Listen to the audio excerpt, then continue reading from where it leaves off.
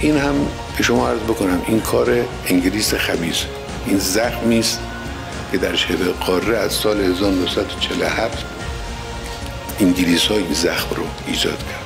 از همون اول داشتن خارج می شدند و هند و پاکستان